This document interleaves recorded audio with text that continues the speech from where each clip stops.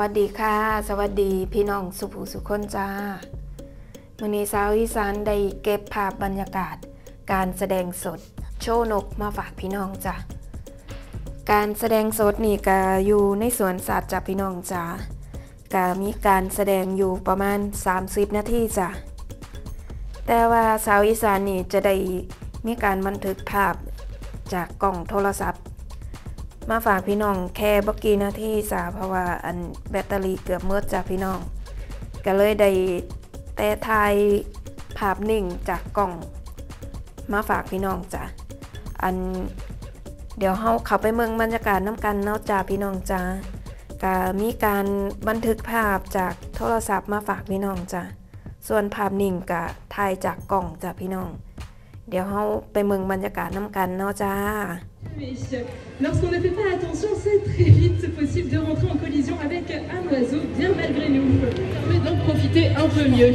Et vous pouvez le voir, ce sont de très beaux oiseaux qui vont très bien marcher à pied. Alors on ne travaille pas comme ça, surtout quand on les voit. Et évidemment, on ne peut pas rester en Amérique du Sud sans passer par là, tout simplement. Et celui avec une magnifique tête rouge juste là-haut, ça va être le retour au rat. Alors il doit être différent des autres rapaces puisqu'évidemment déjà ils vont se nourrir de charogne, mais en plus ils ne vont pas les repérer à la vue, mais bien à l'odeur. Ils vont avoir un odorat parfaitement développé et on les verra très souvent particuliers de ce, de ce rapace. Et finalement le dernier à nous rejoint, le plus monde, c'est le.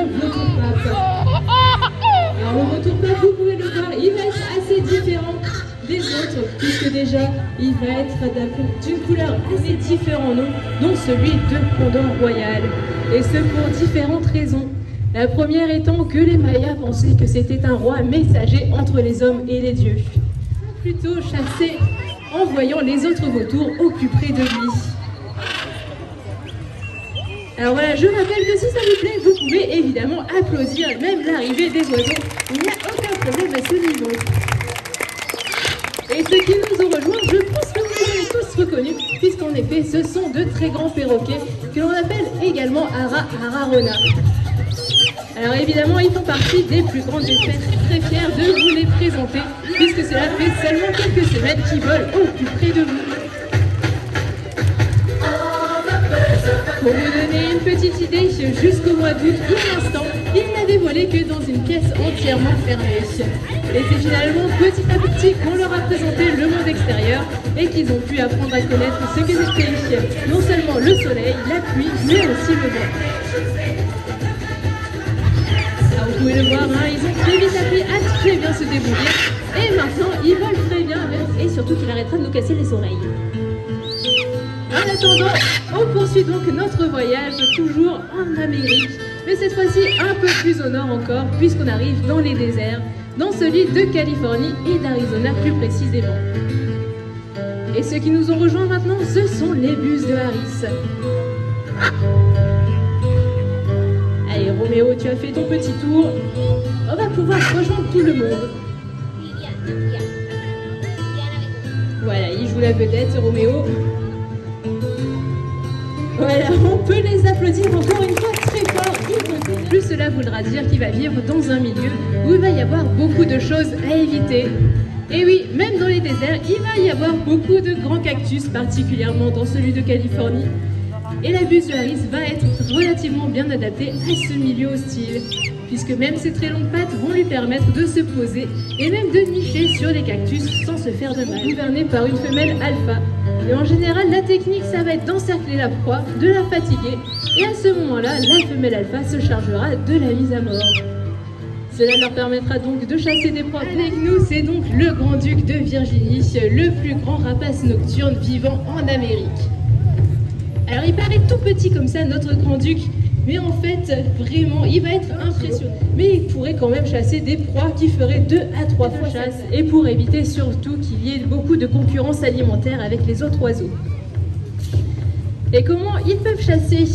La nuit Ça va être tout simple, puisqu'en effet, si on regarde bien, ils ont un grand disque facial, un visage entièrement roux. Et ça, en fait, ça va leur permettre d'amplifier les sons qu'ils vont entendre déjà, Et en plus, ils vont être dotés aussi de très grands yeux bien colorés. Et si on observe bien la couleur de ses yeux, c'est la 50 pour un poids pouvant aller jusqu'à 6 kg.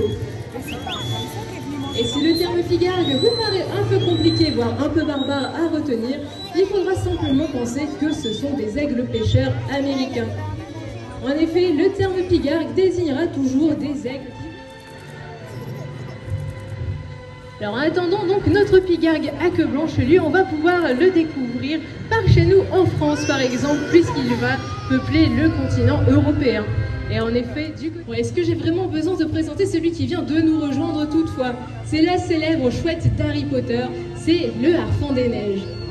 Alors rien que son plumage, on peut le savoir, notre Harfang des Neiges va donc vivre va donc vivre dans les milieux enneigés et apparemment Dernièrement, elle a décidé que je n'étais pas une très grande amie pour elle. Alors, notre affront des neiges, a une grande tendance, ça va être d'attaquer les pieds des gens. Et en général, quand elle nous repère, elle nous lâche très peu. Voilà, alors pourquoi attaquer les pieds, voire même les mains? Ça va être très simple. C'est tout simplement en fait, puisque lorsqu'ils sont jeunes, ils vont passer énormément de temps au sol. Alors je vous rassure, je vais bien, j'ai l'habitude malheureusement. Ça arrive parfois, c'est les risques du métier. Mais vous pouvez le voir, je n'ai pas crié, je ne suis pas en train de pleurer. Évidemment, ça se passe toujours mieux avec les soigneurs au masculin pour notre arfan des neiges. On ne sait pas pourquoi, mais elle a développé une certaine amitié pour les filles. Notre différence, ça va être au niveau du régime alimentaire aussi, puisqu'en effet, eux, ils n'ont pas la queue blanche, ils ne vont pas se nourrir uniquement de poissons. Au contraire, ils vont être plutôt du genre opportuniste et vont se nourrir vraiment de tout ce qu'ils vont pouvoir trouver. Alors parfois ça va être du poisson, aussi ça va être des reptiles, des mammifères, voire même certaines carcasses d'animaux. Tout peut y passer sans souci. En revanche, c'est la technique de chasse qui est assez intéressante là encore. Alors malheureusement, on ne peut pas vous en faire une petite démonstration, parce que malgré tout, vous pouvez le voir, ils se débrouillent très bien dans le vol. Mais il faut imaginer que lorsqu'ils vont louper une proie, ces aigles, et en effet, il est assez atypique avec son très gros et très beau corps d'aigle, mais surtout ses très grandes pattes de gruche. Et encore une fois, son physique, il n'a pas été fait au hasard, puisque Mère Nature est bien faite. Non seulement déjà, il va vivre dans les hautes herbes d'Afrique, et du coup, il aura besoin de ses très grandes pattes pour pouvoir se déplacer facilement, et aussi pour pouvoir voir par-dessus. La deuxième raison à ces très grandes pattes, ça va être par rapport à son régime alimentaire, puisqu'il va très bien porter son nom. En effet, le serpentaire. Et en fait, la technique de chasse, alors ça va être un peu comme ce que vous pouvez voir là. Il va tout simplement étendre bien grand les ailes devant lui, se servir de sa très longue queue pour garder son équilibre et uniquement attaquer à l'aide de ses longues pattes. Et en général, ça va vraiment être des attaques éclairs puisqu'elles ne dureront que quelques millièmes de secondes. Et avec un peu de chance, si vous revenez l'année prochaine, vous aurez peut-être le droit de l'avoir réalisé ce genre d'exercice avec un beurre. En effet, pour l'instant, on vous présente un tout jeune individu. Et là, son travail, c'est vraiment de découvrir l'arène et surtout de découvrir son public. Et ceux qui l'ont rejoint au-dessus de vous, ce sont des petits vautours. Alors vraiment les plus petits que l'on va pouvoir retrouver en Afrique. Et ce sont les néophomoines. Alors je vous laisse observer leur très jolie tête rose qui peut très vite virer au blanc en fonction de ce qu'ils vont ressentir. En effet, en général, lorsque la tête est rose, c'est que tout va bien. Mais lorsqu'elle vire au blanc, c'est tout simplement qu'ils ont eu peur de quelque chose. Et vraiment, ça peut être fait en quelques secondes seulement. Et pour ceux qui se demanderaient pourquoi notre serpentaire se déplace uniquement à pied, en fait, même dans la nature, ça va être son mode de prédilection Paul de tous nos Milan et de tous nos retours qu'on va conclure ce voyage par chez nous en France. Et j'espère que vous avez vraiment appris à en connaître un peu plus sur les oiseaux et que vous avez apprécié. Maintenant, voilà, vous pouvez vraiment applaudir très fort le travail de tous nos oiseaux, mais aussi de leurs soigneurs.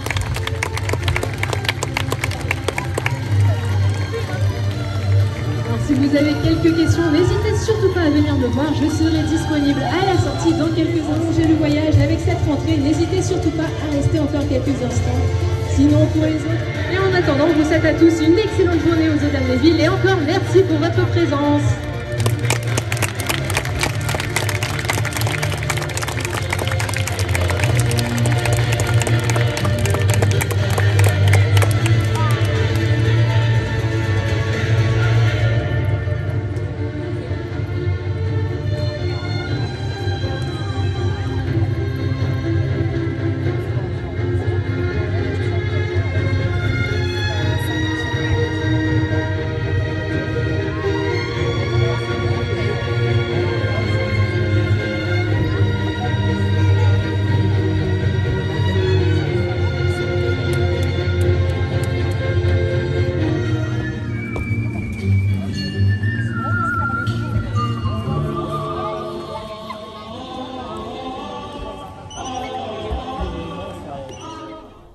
คลิปนี้สาวอีสานก็ขอจบไว้แค่นี้สักก่อนเนาะจ้าพี่น้อง จบด้วยภาพสวยๆจ้าพี่น้องจ้าจังใดสาวอีสานก็ฝากช่องสาวอีสานรักเสมอน้ำในเด้อจ้าพี่น้องจ้าซอยสาวอีสานกด กดไลค์กดซับตะไคร้กดแชร์ให้สาวอีสานน้ำในเด้อจ้าพี่น้องจ้าจังใดก็ฝากช่องสาวอีสานรักเสมอด้วยนะคะ ฝากเป็นกำลังใจให้สาวอีสานน้ำในเด้อจ้าพี่น้องจ้าสวัสดีจ้า